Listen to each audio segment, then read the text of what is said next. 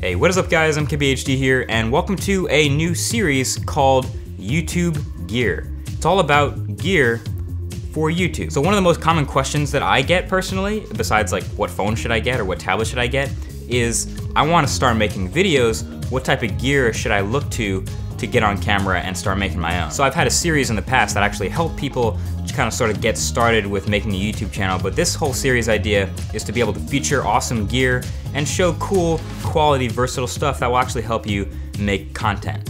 Now, it's not all about the gear. That's an important thing to note. It's obviously content first. The stuff you make videos about is really what matters, and that's the whole reason to start a YouTube channel. But having quality, versatile, working gear is actually something that's surprisingly important, and I'm a gearhead anyway, so it kind of plays to the ability to show off cool tech things like that. So content first, but if you have gear that'll help you out, that works too. All right, so this is the first piece of gear that I am featuring uh, in this playlist or series. If you don't know what it is, it might look a little bit weird. This is a microphone. It has its own desktop stand. This is called the Blue Yeti Pro. Now that it's around Black Friday, you'll see microphones and stuff from Blue and a bunch of others going from way lower prices. I saw this guy, this Blackout Edition, uh, for somewhere around 100 bucks, which is way less than what I paid for it a while ago. And this is also sort of like a YouTube classic microphone. I was using this microphone full time like three, four, even five years ago. It showed up in videos. I think I made an entire video all about it. I think it was the silver version. But yeah, this thing is tried and true, and I feel like it's about time I recommended it. So this is what it looks like. If you haven't seen a microphone like this before, like I said, it has a built-in stand. It articulates to face your mouth exactly, and it's got a whole bunch of features that make it a little bit different from a normal mic, and that's why it costs more. So underneath this cover here, it's not just one microphone.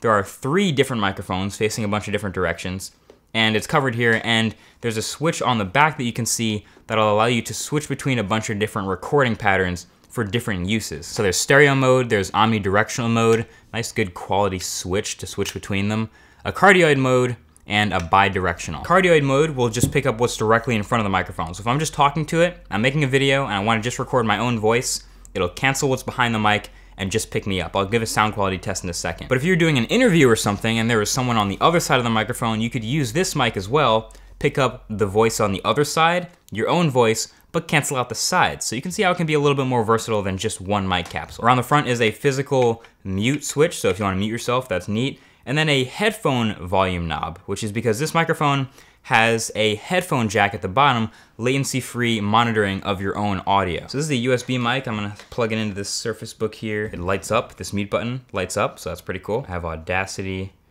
on this machine. I use Audacity, which is a free piece of software, and I've used it for like seven years. I don't use Adobe Audition or anything fancy. Audacity just lets me pick the input source, pick the quality level, and then record audio, and that's all I need to do.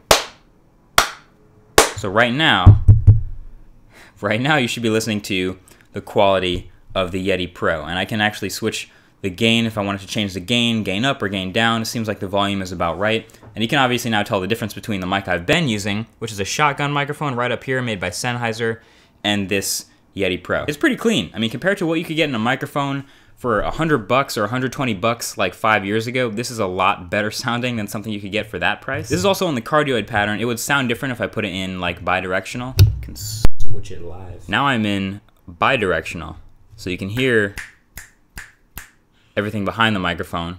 You probably won't hear things to the sides of it and you can hear my own voice. But for the sake of this, I'm gonna go back to cardioid. I really like the the hard switch. It's quality. It's all made of metal. The whole thing is metal. So there you go, guys. That's the Blue Yeti Pro, and that's YouTube gear number one. Now, if you have any other suggestions for pieces of YouTube gear, whether it's lenses or cameras or microphones or accessories, basically any piece of gear related to making videos, let me know, get at me, because that's the kind of stuff I want to feature in these future episodes. And also, every single time I do a YouTube gear video, whatever I talk about in the video, I'm going to be giving away on Twitter. Follow me on Twitter at MKBHD, and within like 24 hours of this video going live, there will be a giveaway post where you can pick up this exact microphone that I'm using in this video right here and probably get started on a YouTube channel of your own. So that's been it. YouTube gear is now a thing. Dope tech is now a thing. We're branching out a little bit more. Hopefully you guys enjoy this kind of stuff. And if you do, let me know by giving a thumbs up below. Thanks for watching, and I'll talk to you guys in the next one. Peace.